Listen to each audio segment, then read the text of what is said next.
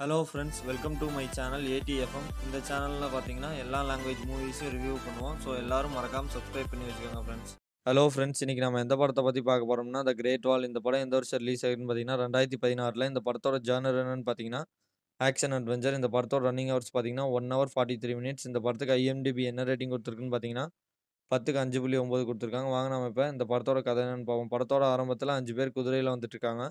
அவங்கள பார்த்தீங்கன்னா பின்னாடியே பத்து பேர் துரத்திட்டு வந்துட்டுருக்காங்க. அப்போ அவங்க கிட்டேருந்து தப்பிக்கிறதுக்காக ஒரு இடத்துல பதுங்குறாங்க. அந்த இடத்துல பார்த்தீங்கன்னா ஒரு வினோதமான ஜந்து வந்து இவங்க அத்தனை பேர்த்தையும் வேட்டையாடுது. அந்த வேட்டையில் வந்து பார்த்திங்கன்னா மூணு பேர் செத்துறாங்க. ரெண்டு பேர் மட்டும் உயிரோட்டிருக்காங்க. திரும்ப இவங்க ரெண்டு பேர்த்துக்கு சண்டை நடக்குது. அப்போ வந்து ஒருத்தன் வந்து அந்த ஜந்துவோட கையை வெட்டி கொண்டுடுறான் ஸோ ஞாபகார்த்தமாக இருக்கட்டும்னு சொல்லிட்டு அந்த ஜந்துவோட கையை இவங்க எடுத்து வச்சுக்கிட்டு திரும்ப காலையில் கிளம்புறாங்க. அப்போ கிளம்பும்போது பார்த்திங்கன்னா திரும்ப அந்த பத்து பேர் இவங்கள துரத்த ஆரம்பிக்கிறாங்க. ஸோ ஒரு இடத்துல போய் நிற்கிறாங்க அவங்க வந்து அந்த இடத்துக்கு வராமல் அந்த பத்து பேர் வந்து திரும்ப பேக் அடித்து ஓடி போயிடுறாங்க. ஸோ இவங்க என்ன நினைக்கிறாங்கன்னா நம்மளை பார்த்து பயந்துட்டான் அதான் ஓடிட்டான் அப்படின்னு நினைக்கிறாங்க.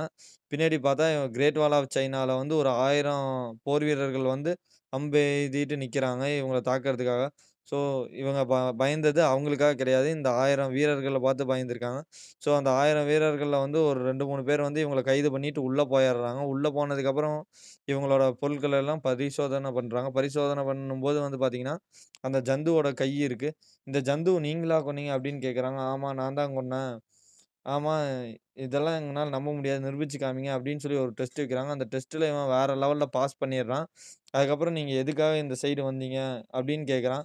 அதுக்கு அவன் உண்மை சொல்கிறான் என் எதிரிங்களை அழிக்கணும்னா எனக்கு பிளாக் மேஜிக் பவுட்ருன்ட்டு ஒரு பவுட்ரு வேணும். அந்த பவுட்ரு இங்கே எங்கேயோ கிடைக்கும்னு சொல்லியிருக்காங்க. அதனால தான் நான் தேடிட்டு வந்தேன் அப்படின்னு சொல்கிறான் பிளாக் மேஜிக் பவுட்ரு வந்து பார்த்தீங்கன்னா கிரேட் வால் ஆஃப் சைனாவில் ஏகப்பட்டது இருக்குது ஒருவேளை நீங்கள் எங்களுக்கு ஹெல்ப் பண்ணிங்கன்னா நான் உங்களுக்கு தருவோம் அப்படின்னு சொல்லி அந்த சைனாக்காரங்க சொல்கிறாங்க ஆனால் சைனாக்காரங்க வழக்கமாக தரமாட்டாங்க. நீ எங்களுக்கு ஹெல்ப் பண்ணினா தருவேன் அப்படின்னு சொல்கிறாங்க ஸோ அவன் வந்துட்டு நான் அவன் சரி நான் ஹெல்ப் பண்ணுறேன் அப்படின்னு சொல்லிட்டு ஹெல்ப் பண்ணலாங்கிற மாதிரி ஹெல்ப் பண்ணிட்டு ஆன் தப்பிக்க பார்க்குறான் ஆனால் அந்த ஜ ஜந்துக்கள் அட்டாக் பண்ணுது. அட்டாக் பண்ணும்போது பார்த்தீங்கன்னா இவன் செமையாக சண்டை போட்டு எல்லாத்தையும் காப்பாற்றிடுறான் இதை வந்து சீனக்காரர்கள் பார்த்துட்டு ரொம்ப தேங்க்ஸ். கண்டிப்பாக நீங்கள் இருந்தீங்கன்னா இந்த போரை வெற்றி பண்ண பெறலாம் அப்படின்னு சொல்கிறான் அதுக்கப்புறம் இதோட ஃப்ளாஷ்பேக் சொல்கிறாங்க ஒவ்வொரு எழுபது வருஷத்துக்கு ஒருக்காவும் அந்த ஜந்து வந்து எங்களை தாக்கும்.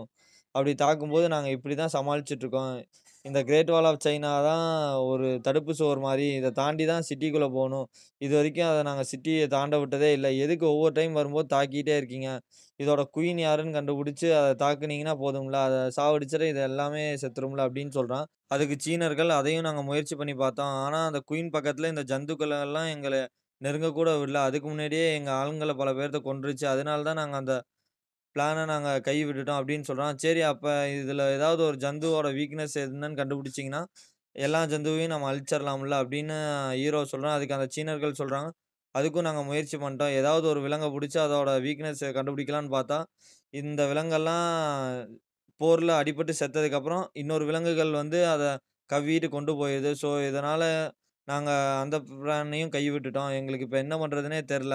அதுக்கு அந்த ஹீரோ ஒன்று சொல்கிறான் சரி இந்த டைம் நம்ம சண்டை போடுவோம். ஆனால் இந்த டைம் நம்மளோட இலக்கெல்லாம் ஒரே ஒரு ஜந்துவை உயிரோட பிடிக்கணும். அந்த ஒரு ஜந்துவை மட்டும் உயிரோட பிடிச்சிட்டோம்னா போதும். அதோட வீக்னஸை கண்டுபிடிச்சி அதோட மொத்த கூட்டத்தையுமே அழிச்சிடலாம் அப்படின்னு ஒரு ஐடியா சொல்கிறான் ஸோ இதே மாதிரி அவங்க பிளானும் போடுறாங்க. அதே மாதிரி ஒரு ஜந்துவை பிடிக்கவும் செய்கிறாங்க பிடிச்சி வச்சிட்றாங்க. இதுக்கப்புறம் அந்த ஜந்து கிட்ட என்ன வீக்னஸ்ன்னு கண்டுபிடிச்சி அந்த மொத்த கூட்டத்தையுமே அழிச்சு இந்த உலகத்தை அந்த ஜந்துங்கிட்ட இருந்து காப்பாற்றினாங்களா இல்லையா அப்படிங்கிறது தான் இந்த படத்தோட கதை. இந்த படத்தில் ஆக்ஷன் சீன்ஸ் கிராஃபிக் சீன் எல்லாமே செமையாக இருக்கும். ஸோ எல்லாரும் மறக்காமல் பாருங்கள் ஃப்ரெண்ட்ஸ் இந்த வீடியோ உங்களுக்கு பிடிச்சிருந்தா like share comment and subscribe பண்ணுங்கள்